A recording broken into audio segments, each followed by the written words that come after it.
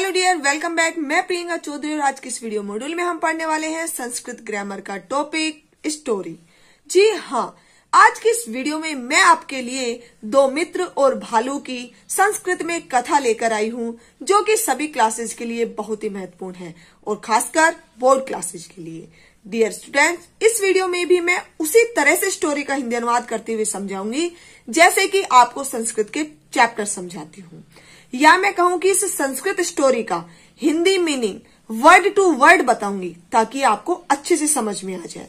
Dear students मैंने इस story को यहाँ पर उसी तरह से लिखा है, जैसा कि आपसे एग्ज़ाम में पूछा जाता है। और वो कैसे? देखो, सबसे पहले आपको हेल्प बॉक्स दे दिया गया है, ठीक है? जिसमें कुछ वर्ड्स लिखे हुए हैं, और नीचे आपको स्टोरी दे दी गई है, पर कहीं कहीं पर इस स्टोरी में ब्लैंक छोड़ दिए गए हैं, जिसे हेल्प बॉक्स की सहायता से फिल करना है। तो यहाँ भी हम उसी तरह से करने वाले हैं, और वो भी हिंदी अनुवाद के साथ। तो देखिए।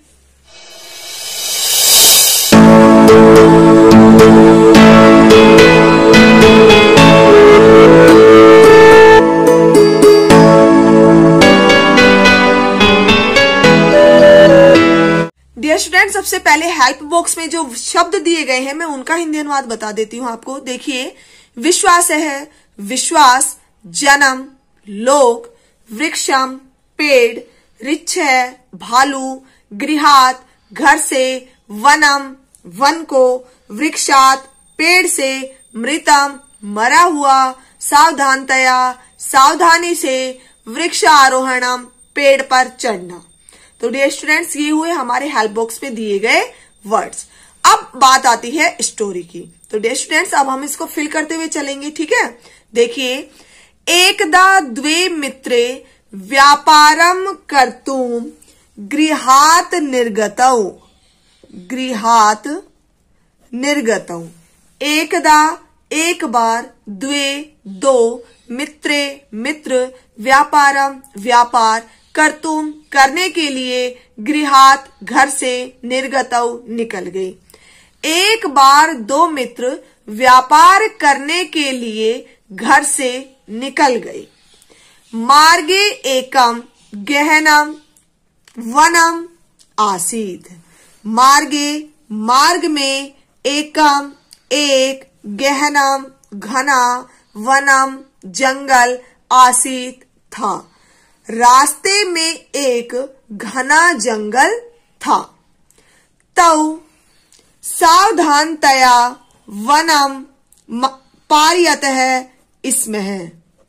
तव वे दोनों सावधानतया सावधानी से वनम वन को पारियत पार कर रहे इसमें थे। वे दोनों सावधानी से वन को पार कर रहे थे। सहसा एक है, रिच्छ है, आगत है। सहसा अचानक एक है, एक, रिच्छ है, भालू, आगत है, आ गया।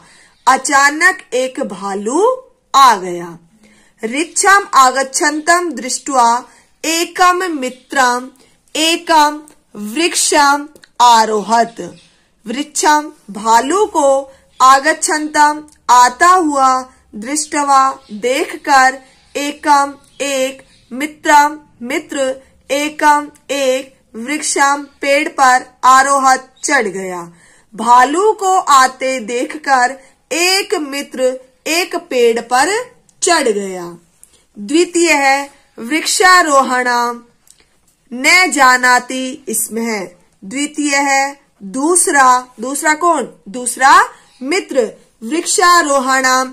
पेड़ पर चढ़ना न नहीं जानाती, जानता इसमें था। दूसरा, पेड़ पर चढ़ना नहीं जानता था। परंतु सह स्वयं मातु अश्रृणोत यत रिच मृतम जन्म न खादती। परंतु सह उसने स्वयं मातु अपनी माता से अश्रृणोत सुना था, यत की रिच भालू मृतम मरे हुए जन्म व्यक्ति को न नहीं खादती, खाता है। परंतु उसने अपनी माता से सुना था कि भालू मरे हुए व्यक्ति को नहीं खाता है। अतः सह मृतवत भूमाऊ अपतत। अतः इसलिए सह वह मृतवत मरे हुए के समान भूमाऊ भूमि पर अपतत लेट गया।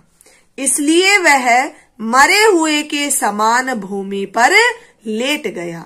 ऋच तस्य समीपम आगत्य तम अघ्राणत।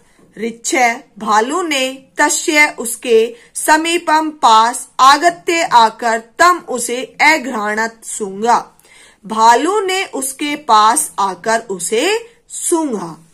तम मृतम मतवा च अगछत तम उसे मृतम मरा हुआ मत्वा मानकर च और अगछत चला गया और उसे मरा हुआ मानकर चला गया।